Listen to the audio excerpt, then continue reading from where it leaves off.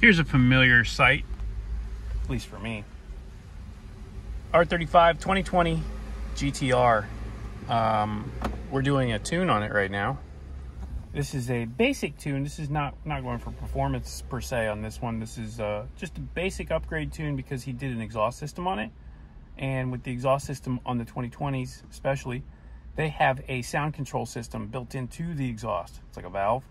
So when you put um, a different exhaust system on or you bypass that valve sensor, it causes problems. The car goes into limp mode. So we are programming that out. And if you have an R35 and you need help doing this, we can do it for you too. Um, there is some gains here too, big gains.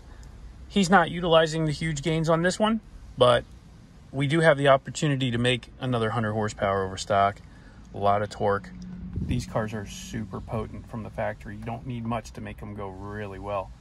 Um, if you do a set of injectors, E85 fuel pumps, and the tune, like I said, over 100 horsepower gains, and low, low, low 10 second quarter mile, we have dipped into the nines with a completely stock turbo, stock tranny, stock motor R35. We did it a long time ago, but um, no trouble with these cars doing that. And they're really rock solid reliability, consistency. Just got to keep up on the maintenance and make sure that you don't let anything get let the oil get old, stuff like that.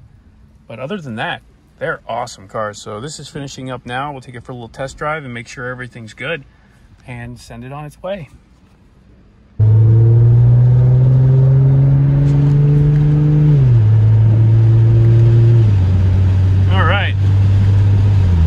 smooth as even tell the tune's in there. We have the ability to change boost though. Look at that, huh? So you can dial in the boost level that you want. We're gonna turn her right there. That's good. See what she does. This should feel really good.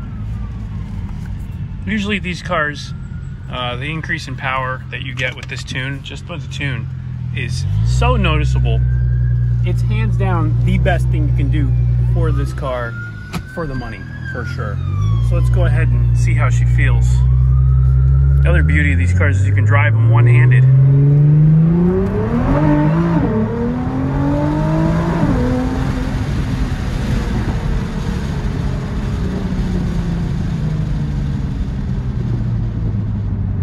Very nice. Super smooth, no trouble at all. That's how we like to see it. So if you have one of these cars yourself, make sure you hit us up. This is a great, great platform for tuning. It takes to the tune extremely well, um, and there's so many options. You can do E85, flex fuel, big turbos, everything you can imagine, and they just eat it up. They're, they're awesome cars.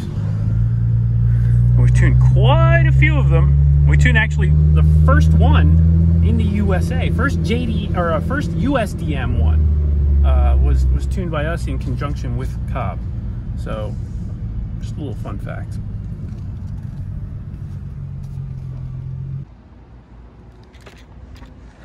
Not a bad looking car. I figured I'd show you the outside too. Got a nice wing on it and stuff. These 2020s are amazing. Look at the wheels, huh? Really cool. That's all factory. Rays Engineering. Body kit's good. These have like a nice like uh, lip on them and everything from the factory. The light's nice. Nice updates for these years. For those of you who are new to the channel and haven't seen this bad boy that's idling right now, you're missing out. Go check out the old videos. This is my, uh, this is one of my little lawn tractor projects. We call it a garden. No, lawn. This is a lawn tractor It's not a garden tractor. It's too small. This is like something that you get over at Home Depot originally. Uh, and then, of course, in true HP Logic fashion, we stuck this twin cylinder in it and it just makes the whole thing worth it. Pretty cool little upgrade. Got a bunch of stuff on it.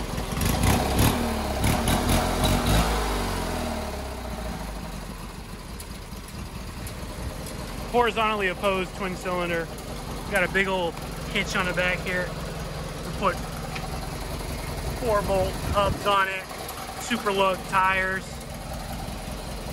Just fun. Fully swapped it.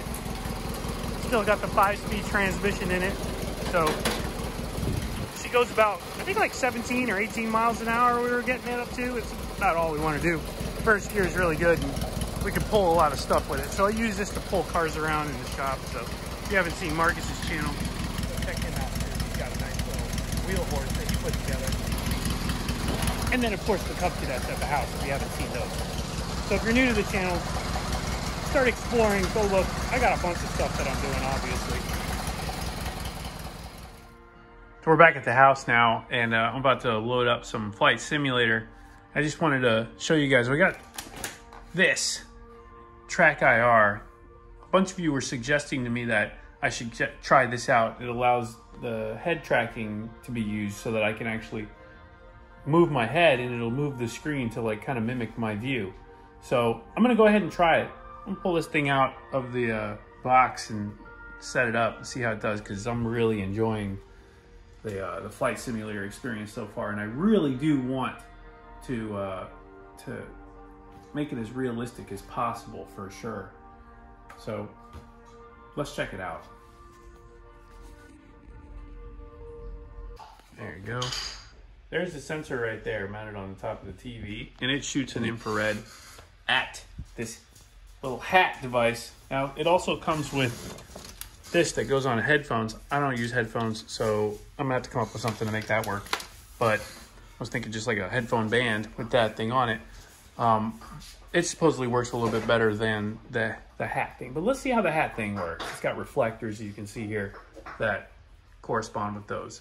So I can't even see those LEDs. You're able to see them on here because this thing's picking up the infrared, but uh, I can't even see them. So now we're loaded up here. Let's get this going and you can see it is moving with my head. So that's pretty cool. Uh, not bad. I look up, I look over.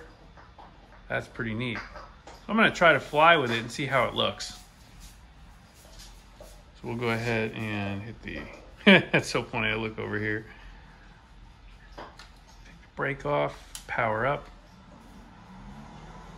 To fly with one hand, clearly. Let's see how she does.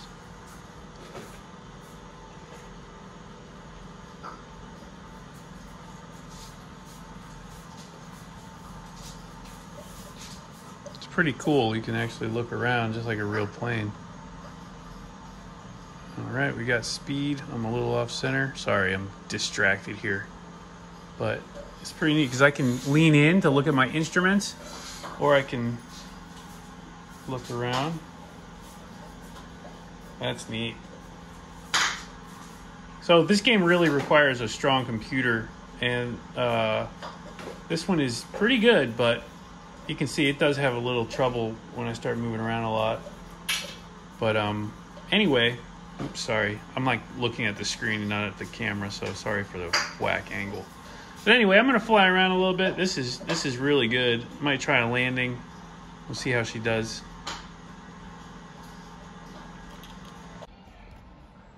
All right, so I'm gonna try to land here. So we can see the runway off to the side. I'm gonna try and hold the camera while I make a quick turn here to base. All right, so here we go.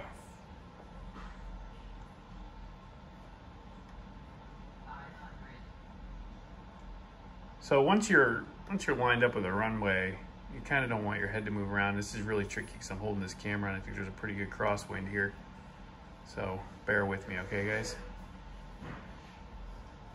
I am definitely way off center. This is a pretty stiff wind.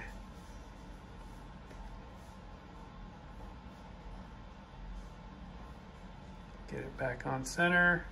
There we go. Okay, so, jeez. Oh, Sorry, I was holding the camera. I need someone to hold the camera for me while I do this. Uh, Hopefully you guys saw something. I'll, I'll, look at the video and see if I have to do that again. But either way, first impressions takes a little bit getting used to. It's a little sensitive. I'm going to try and turn down the sensitivity a little bit because if I look to the left like 45 degrees, it shows me looking all the way outside of the cockpit. So I'd like it to be a little less sensitive than that. So we'll hook it up. I really like that you can like zoom in on stuff though, so you can really see all the switches and stuff. That's really cool. Sorry once again, I gotta figure out how to hold this camera. All right, so now you can see, I turned the sensitivity down a little bit. Hopefully this is a little bit better. I think that'll be a little bit better. I'm gonna try another quick takeoff and landing, so here we go.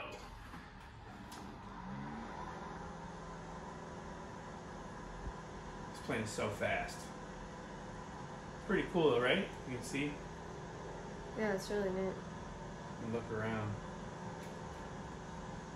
Should make landing a lot easier. So when you're turning to base on a landing, you need to be able to kind of see where the runway is. Otherwise, you'll uh, you'll overshoot it. So this helps out with that a lot. Again, there's a pretty stiff cross breeze. You can feel it. We're gonna climb out a little bit. Keep the throttles up.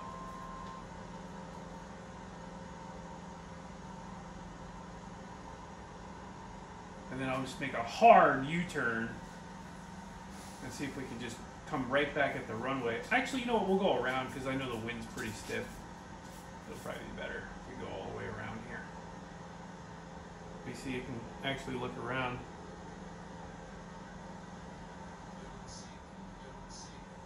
It's mad because I'm not climbing anymore. but it's neat because you can actually like move all around. I can see all the different functions, all the switches and everything. I like it. This is a little little tour of Wellington, guys. You can see around. This little runway is in a. You can see the runway right there. This runway is actually in a neighborhood. It's really cool, and Carlo and I like to go there quite quite often and like watch the planes because there's some people that live there. It's, a, it's an aviation community, and uh, they've got some really cool planes. It's a guy with a P-51, and a bunch of jets. People have like private jets in there, so it's really fun to like go over there and watch them take off. A couple of stunt pilots live in there. They, they fly some extras and just aerobatic planes. So a lot of fun. So right now here we're crossing Flying Cow, and we're gonna get ready to make a pretty sharp U-turn here, and we'll come right back in. So this is actually what a lot of those guys that live out there do. They just make this same route. They just fly around all the time, just do circles and land. So let's go ahead and turn. We're gonna pull the throttle back, and we're gonna keep a little bit of altitude. We don't want to fall too much. See, we're turning. We're gonna overshoot the approach here a little bit, but that's okay. We'll make it work. Okay, so there you go. There's our runway. We're lining up and put the flaps down.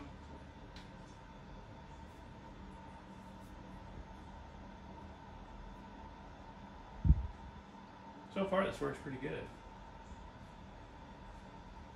A little bit of a crosswind today, so let's see how that fares for a straight landing.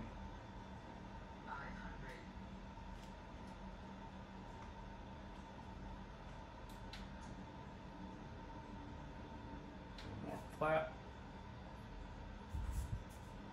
Not too bad.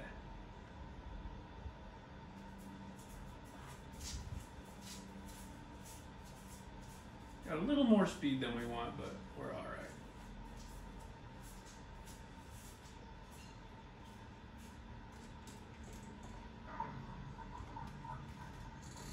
So a little bit, a little bit of wind there. Not the best landing, but I'm still getting used to this moving around thing, so it kind of threw me off a little.